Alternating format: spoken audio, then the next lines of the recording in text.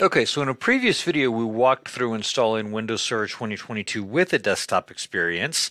Now let's take a look at doing it without a desktop experience. So I've got another virtual machine here. Go ahead and hit spacebar to start our installation. Now, the installation, the initial installation is going to be almost exactly identical. So you can reference back to that video for some of these screens that we're looking at here. I want to show you the difference and then I want to show you the difference for the initial configuration.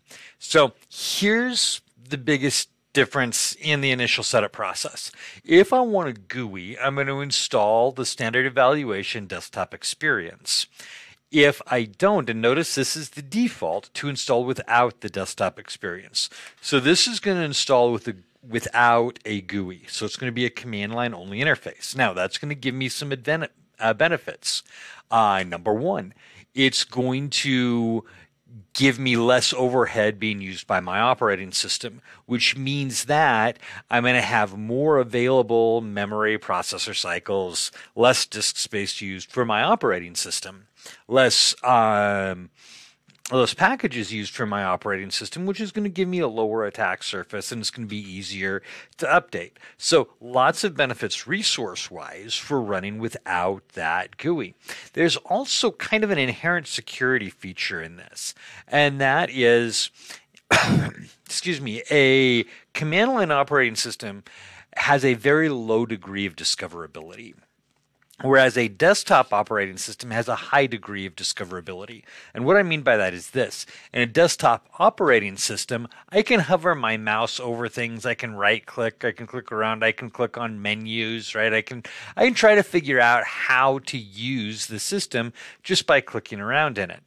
With a command line operating system, I don't have that same high degree of discoverability. I have a low degree of discoverability. I kind of need to know more before I can try to figure it out. So, what that means is if somebody gains access to the console, go ahead and click my restart now button.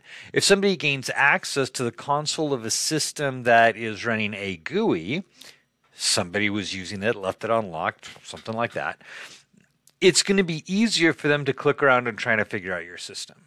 If they have, a, if somebody leaves a system unlocked or somebody gains access to a server console with a command line only, they don't have as much access to the system unless they know PowerShell, know some of the command line tools.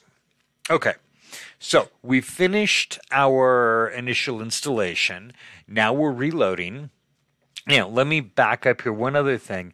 To manage a system like this with command line only, let me go ahead and click my connect so I can use an enhanced session here and get a little larger screen.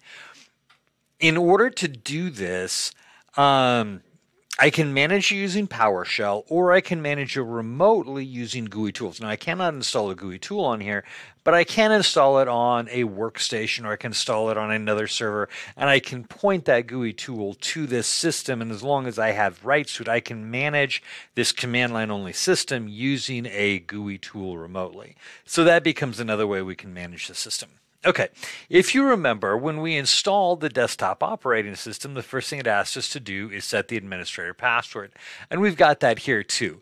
The user's password must be changed before signing in. So I'm going to hit enter. And I'm going to put in my generic password, tab down, and redo my generic password. And my password has been changed. So I'm going to hit enter on my OK. And then it's going to bring up my command prompt and it's going to load a configuration tool for me called sconfig. Now, sconfig is going to load by default all the time unless I do this command at command line.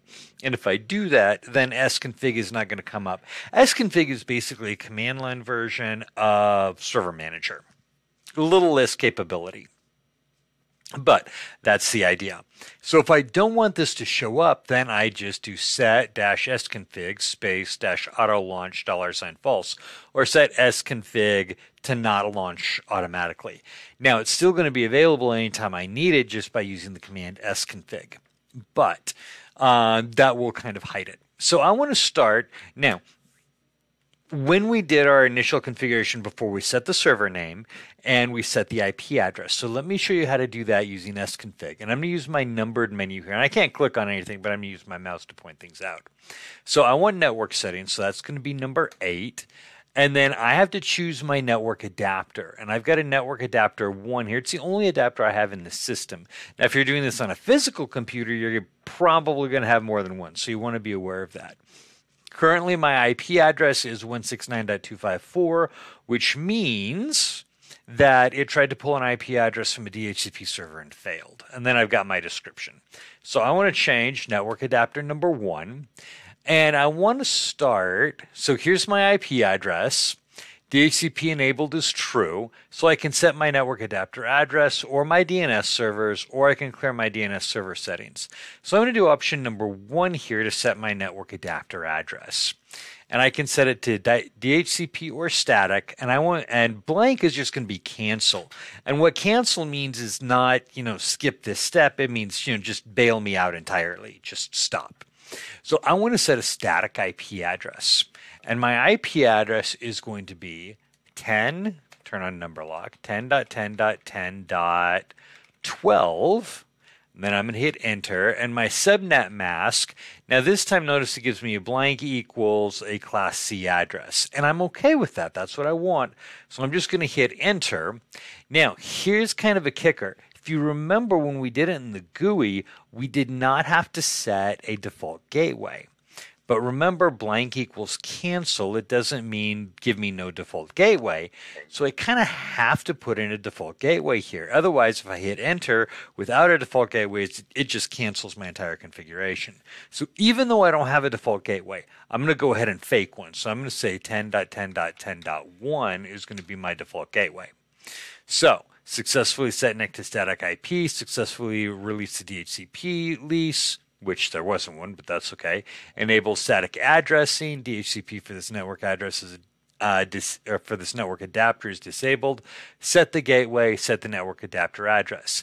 Now, it did not ask me for my DNS settings. Now, in the GUI, my DNS settings are on the same page as my IP address settings, not here. What I need to do is I need to go back to network settings 8 and interface index 1 and I need to set my DNS servers. So I'm going to click uh, hit 2 to set my DNS server and my preferred DNS server is going to be 10.10.10.10 and hit enter. Now notice here blank equals cancel. If I hit enter without setting one then it just cancels setting anything. But now blank equals none. So if I wanted to add an additional DNS server, I could. But if I only want this one, I can just hit enter and we're done. So I'm going to hit enter to continue. And I'm going to exit this and go back to PowerShell. So it's going to be 15 and hit enter. And I'm going to do, and notice the notification to launch server configuration again, simply run sconfig. So I'm going to do an IP config with no spaces forward slash all, and we'll be able to see uh, here's our IP address that we configured, here's our subnet mask that we configured, here's our default gateway that we configured, here's our DNS servers that we configured. Okay, so everything's perfect. So I'm going to go back to sconfig and set the machine name. By the way, I can do that using PowerShell as well, but we're just going to use sconfig for this demo. So here's where I can change my domain and workgroup. And again, notice in the command line, or not in the command line, in the GUI, I set the domain or workgroup and the machine name on the same screen. Here, there are two different options.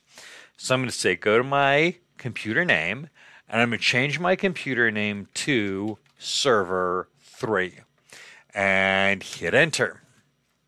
These changes will take effect after you restart. Same thing as with the GUI. Yes, I'm cool with that. And it reboots my computer. Now, when this comes back up, okay, we're going to log back in using my generic password. sconfig is going to auto load. And it'll do this every time I load in, right? Just like loading Server Manager happens every time you boot a server with a command line or you log into a server with a command line OS. I want to disable this. Now notice my options here. So here are my settings. Basically 1 through 11 are all of my settings. I have also have log off, restart the server, shut down the server, exit to command line. Command line takes me to PowerShell and some older versions of uh, Windows. Exiting exiting to command line would take you to the command prompt, CMD, not PowerShell. You'd have to type PowerShell to load it up. So I'm going to go ahead and do 15 because I want to exit to command line. And I'm going to run my command set sconfig dash auto launch. And it's dollar sign false, which is a variable that means, you know, false. Spell auto launch correctly. And hit enter. Now, every time I log into this system, uh, it's not going to load sconfig. I'm going to exit here, and this is going to basically bring me back into the system. But notice that it brings me back without sconfig. I can also close this window. It's going to force it to bring me back. Now, previous versions of Windows Server, if you close the window, it would not automatically restart a new one. Um, what you would do instead is you would load Task Manager so you could send a control alt delete or whatever your keystroke sequence was to open up Task Manager. And from Task Manager, then you could start a new task, either PowerShell.exe or Command.exe. But uh, since I I'm running 2022, every time I close that, it will automatically pop up. Honestly, I wish it didn't. I like it better where I could close this and it just wouldn't come up. And then if somebody comes up to the system, they've got nothing, not even a command prompt window. But this is the choices that Microsoft has made. Okay, also remember sconfig will bring me back up to sconfig anytime that I need it. If I want it to come back by default, it's set dash sconfig space dash auto launch dollar sign true. Okay, I'm going to go ahead and shut down the server. And since I'm here in sconfig, I'm going to do the command 14, shut down the server. If I was not, and I was a PowerShell, I could issue the command stop dash computer, and that would shut it down as well. Are you sure you want to shut down the server? Yes, yes, I am. And there we go. That is a basic configuration, installation, and configuration of Windows Server without a GUI.